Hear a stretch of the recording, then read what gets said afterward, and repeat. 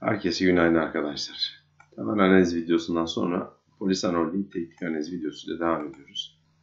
İsterseniz şimdi teknik analiz kısmına geçmeden önce hızlıca bir yasal uyarımızı gösterelim. Burada yer alan bilgiler kesinlikle yatırım tavsiyesi değildir arkadaşlar. Risk algınıza ve portföy yapınıza uymayabilir. Bilgilendirme amacı taşımaktadır. Bu doğrultuda kendi portföyünüzü kendiniz oluşturmanız beklenir. Bu şekilde bunu söyledik. Şunu düzeltelim. Şimdi hızlıca isterseniz bir faaliyet alanından bahsedelim şirketin. Şirketin faaliyet konusu ticari, sanayi, tarımsal, turistik, gayrimenkul, madencilik, finansal konular başta olmak üzere her türlü iştigal konusunda çalışmak ve yerli yabancı şirketlerin sermayelerine ve yönetimlerine katılarak çeşitli faaliyetlerde bulunmaktır. Holding arkadaşlar çatısı altında birçok iş ve işlem gerçekleştiriliyor. Şimdi şurada hızlıca bir şirket kartına bakalım. Şirket kartında şirketin merkezinin Dilovası Kocaeli olduğunu görüyoruz. Burada ortaklık yapısı var. Bitlis kardeşler sanırsam hepsi Bitlis, Bitlis arkadaşlar. 5 kardeşin. Toplamda yaklaşık bunlar şöyle. Yani ben soyadlarına binen kardeş diyorum. Belki birisi babasıdır. Şurada mesela Ayşe Melike Bitlis Buş var. Bu arkadaşlar muhtemelen evlenmiş. Hani soyadı değişmiş. Tabi eski soyadı şurada duruyor. Bitlis. Fatma Nilgün Kasat. O da muhtemelen arkadaşlar gene kardeşlerden birisi. Soyadı değişmiş. Diğerini de korumamış. Olabilir. Tahmin bu. Yani borsada işlem gören %28,58'lik kısım diğer kardeşlere ait diyeceğim şimdilik. O da %71,42'lik kısma denk geliyor. Yani bir bakıma aile şirketi kıvamında ama kurumsal bir şirket tabii ki holding. Şurada iştirakler var. Epeyce bir iştirak var arkadaşlar. Çoğunda hakim ortak. Bunları söyledikten sonra daha başka. Şimdilik bu kadar. Zaten diğer veriler daha çok temel analizle alakalı. Bununla alakalı video çektik. Ona bakabilirsiniz arkadaşlar. Ve şimdi teknik kısmına bakalım. Grafiğimizi çizip bitirelim. Çok fazla zamanınızı almayayım. Şimdi grafiğimize geçtiğimizde biliyorsunuz her zamanki gibi öncelikle yıllık, aylık, haftalık, günlük şeklinde hızlıca bir göz atıyoruz. Bunu yapması sebebimiz herhangi bir desen formasyon oluşumu var mı hızlıca ve kolayca yakalayabilmek. Yıllık, aylık, haftalığı logaritmik ölçekte, günlük, saatlik ve dakikalığı da lineer ölçekte inceliyoruz. Daha iyi sonuçlar verdiği için bunu yapıyoruz arkadaşlar. Yıllığa geldiğimizde logaritmik ölçekte açtım. Şurada borsaya kota olmuş sert düşmüş. Sonra çok sert yani neredeyse iki katı miktarında yükselmiş. Sonra geri geldiğinde artık burayı başlangıç noktasında hemen hemen destek yaptığını söyleyebiliriz. Sonra amudi bir yükseliş. Sonra bir düzeltme tekrar yükselmiş. Son dönem itibariyle biraz daha aşağı yönlü bir hani kafayı aşağı eğme gibi bir durum oluşmuş arkadaşlar. Bundan sonra aylığa geçelim. Aylıkta borsaya kot olmuş. Yani şurada yatayda bir hareket söz konusu. Neresi işte 84 kuruşta 1, 1 lira 40 kuruş seviyeleri. Şurada yatayda bir hareket devam etmiş. Hatta şurayı saymazsak şurayı görüyorsunuz. Yani bu 97 kuruş borsaya kot olduğu yani açılış fiyatı gibi bir şey. Burası iyice bir dip olmuş. Burayla şura arası bile diyebiliriz. Yani şurası biraz artık şey gibi kalmış. Ne denir? İyili bir şeydi. Neydi arkadaşlar? İhlal. Evet ihlal arkadaşlar. Sonrasında bu yatayda hareketten sonra sert yükselmiş. Yukarıda bir süre kalmış. Sonra iyi bir düşüş gelmiş. Son dönemde şu şekilde bir yükselişi görebiliyoruz. Yani mail de artmış. Daha bir sertleşmiş yükseliş. Haftalığa geldiğimizde şurada bir düşmüş. Sonra sert yükseliş, yatayda bir hareket. Sonra hafif aşağı yönlü bir hareket. Yani şurada şu şekilde düştüğünü görebiliyoruz. Düşen bir kanal oluşmuş arkadaşlar. Sonrasında da yükselmiş. Yükseldikten sonra şurada yatayda bir hareket. Son dönem düşmüşse de 20 günlük ortalamaya doğru kendini atmayı başarmış. Günlüğe geldiğimizde ölçeği logaritmikten lineere çeviriyorum. çeviriyorum. Burada fiyat biraz yükselmiş, sert düşmüş. Burası Mart pandemi dönemi biliyorsunuz arkadaşlar. Sonra yükselip başladığı yere geri dönmüş hemen. Sonra bir miktar daha düşmüş. Şurada çok sert yükseliş, amudi yükseliş gerçekleşmiş. Sonrasında düşüş, yatayda bir hareket. Son dönem bir miktar düştü. Toparlama şeyinde yani gene şuralara gelmiş arkadaşlar. Bu şekilde bir görünüm var. Şimdi yıllıkta hareketli ortalamaların oluşmadığını görüyoruz. Bu sebeple aylığa gelelim. Ölçeğimizi de logaritmaya çevirelim. Yeşil çizgi 20 günlük hareketli ortalamayı gösteriyor. Kırmızı çizgi de 50 günlük hareketli ortalamayı. Burada şurada 20 günlük hareketli ortalama destek olarak çalıştığını görüyoruz. Şurada 50 günlük hareketli ortalama direnç. Burada da 20 günlük hareketli ortalama direnç olarak çalışmış.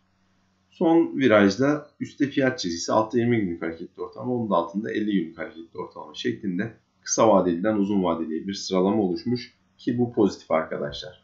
İstenen olumlu bir durum biliyorsunuz. Yani günlük, 20 günlük, 50 günlük şeklinde. Bu şekilde olması tercih edilir.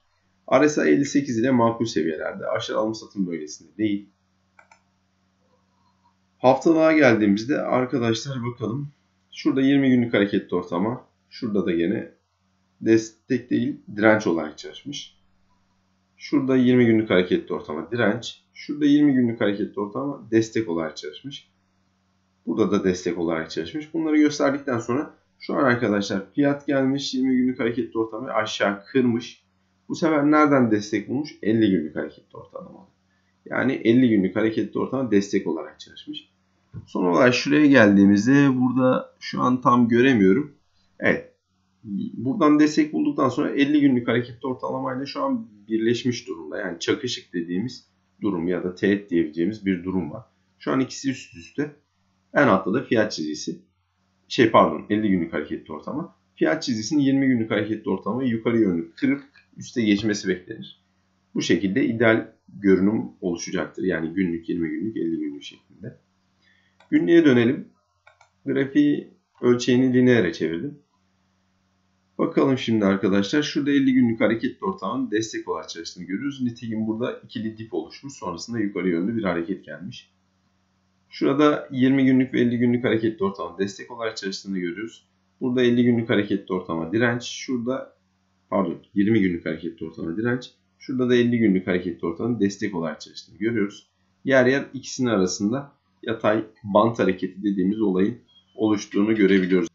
Bunu görebiliyoruz arkadaşlar. Şimdi burada daha olumsuz bir görünüm var. Yani gördüğünüz gibi nerede? Şurada kopma başlamış. Yani bu hangi tarihe denk geliyor? Şunu bir miktar çekelim. Evet. 16 Şubat'tan itibaren yani şu ikisinin arasında hareket ederken 20 günlük hareketli ortalama ile 50 günlük hareketli ortalama ikisini de aşağı doğru kırmış. Sonra gelmiş yukarı dönmüş. Gelip bu sefer 50 günlük hareketli ortalamayı kırmış ama 20 günlük hareketli ortalama direnç olarak çalışmış. Oradan tekrar aşağı salmış. Bu sefer destek olarak 20 günlük hareketli ortalama da yetmemiş. Aşağı kırmış. Sonrasında gelip şurada 20 günlüğü kırıp tekrar 50 günlükten geri döndüğünü görüyoruz.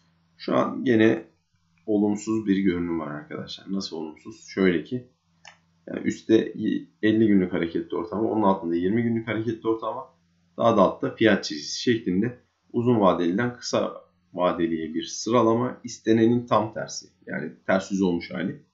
Fiyatın kafayı kaldırıp yukarı yönde hareket etmesi beklenir. Şurada kaç 3.92 seviyesi önemli arkadaşlar. Bunu yukarı kırarsa yani daha olumlu bir tablo oluşacaktır. Bunları söyledikten sonra RSI'ye bakalım.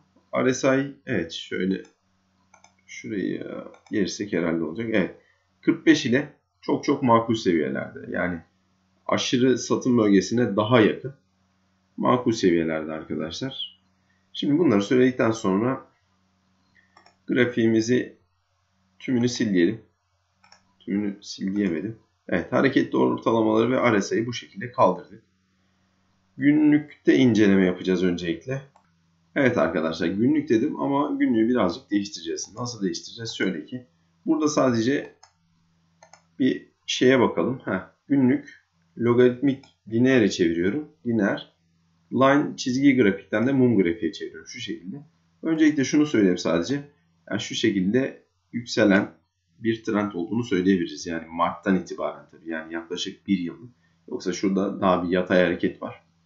Hatta şuradan şöyle çizdiğimizde bunları da göreceğiz. Çok güzel çalışmış. Ama bundan önce biraz daha bu aylık ve haftalığa bakmak istiyorum. Sebebini de birazdan söyleyeceğim size. Aylığa geldiğimizde arkadaşlar bunu bir miktar büyütelim. Evet şu şekilde. Burada şunu göstermek istiyorum arkadaşlar. Şöyle evet kaydıralım. Burada aldığımızda şu şekilde şuradan şöyle uzatıyorum. Bakalım. Evet.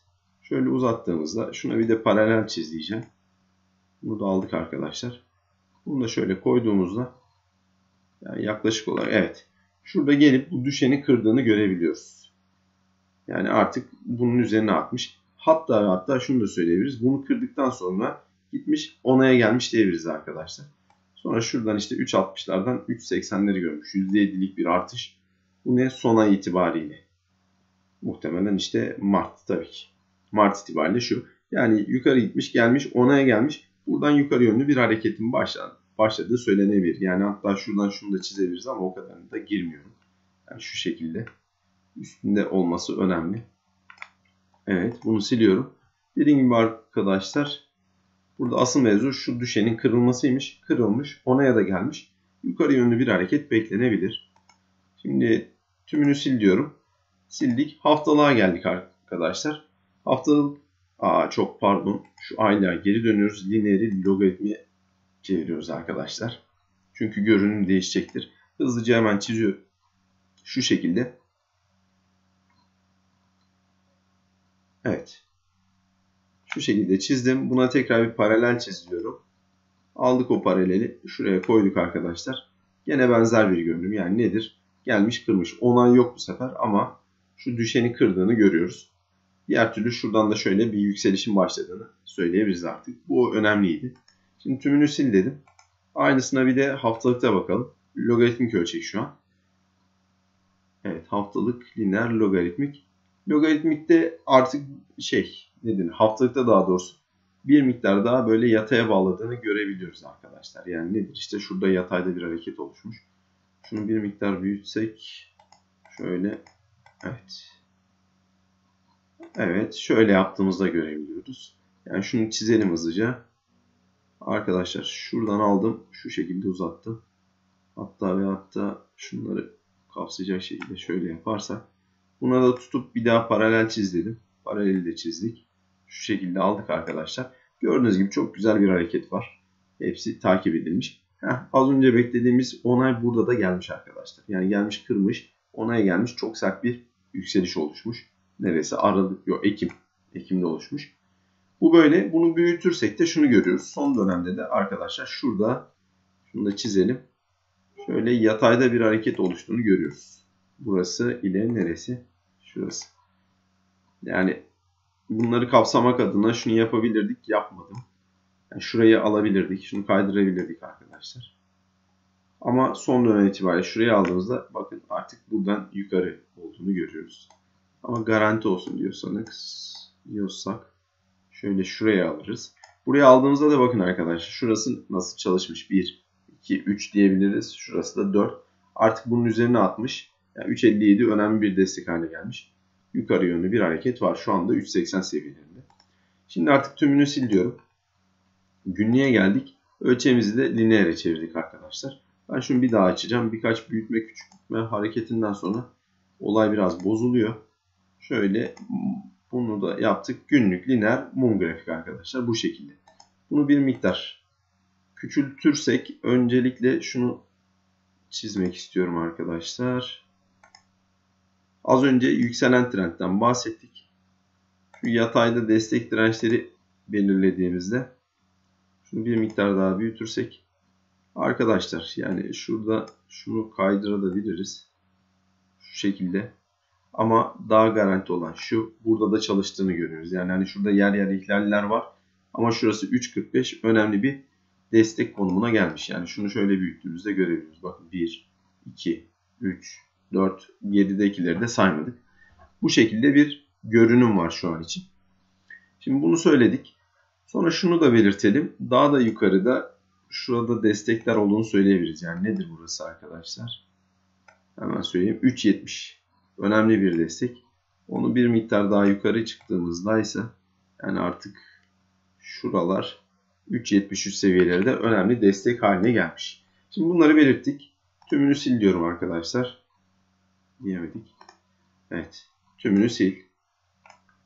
Buradan az önce yükselen trendten bahsetmiştik. Şimdi oradan alacağız arkadaşlar. Yani şuradan aldım. Şu şekilde uzattım. Şu şekilde bir görünüm oluştu. Şunu düzeltelim tekrar. Evet asıl yapmak istediğim şu. Evet sanırsam çok güzel oturdu. Yani şurası bir arkadaşlar. Gölge. Şey gövde. Şurası ikinci gövde 2. Şurada da arkadaşlar yanlış olmadıysa evet. Şurada çok güzel oturduğunu görebiliyoruz. Yani nasıl oluştu? Şurada evet şu mumun gövdesi. Sonrasında da şurası var zaten arkadaşlar. Bunu alalım şimdi. Yani gördüğünüz gibi yükselen dipler oluşan en yeni tepeler. Şurada az önce de söyledik yatayda bir olay oluşmuş. Şurası. Şuraya dikkat. Bunu az önce iyi kötü incelediğimiz için ben şimdi artık diğerine bakacağım. Silemedik. Evet trendi sil diyelim. Tamam. Şimdi buna paralel çiz diyorum. Paralel çizdim arkadaşlar. Getirdik. O paraleli şuraya oturtturduk. Ve çok güzel oturduğunu da görebiliyoruz arkadaşlar. Yani şöyle evet bir miktar daha alırsak. Şöyle. Evet. Bir daha paralel çiz diyeceğim buna. Tekrar diyemedim. Evet. Paralel çiz dedik. Bunu da getirdik. Şöyle şuraya oturtturduk. Bu şekilde. Şuraya tam olarak evet. Bir daha paralel çiziyorum. Bunu da aldık. Getirdik şu şekilde oturtturabiliriz. Şuna bir daha paralel çiziyorum.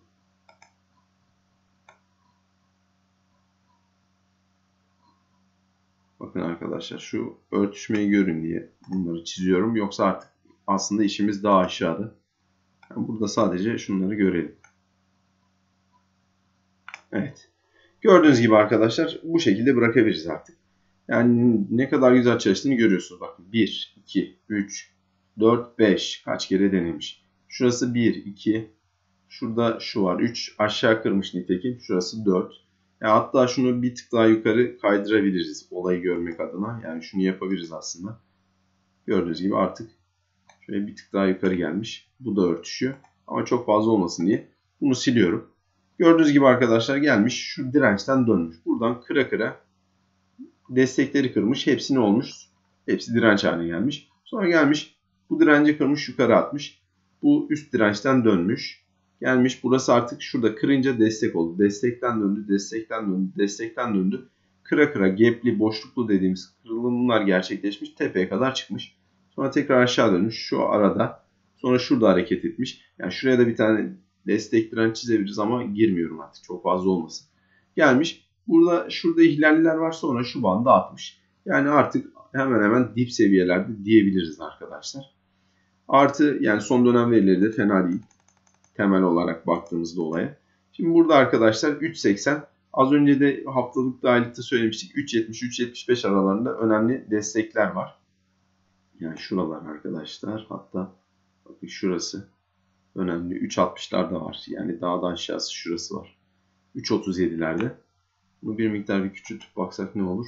Evet. Şura, evet şurada 3.45'te hele çok önemli arkadaşlar. Bakın az önce çizmedik sanırsam onu. Şimdi şöyle çizelim. Şimdi 3.45'e aldığımızda alamıyorum.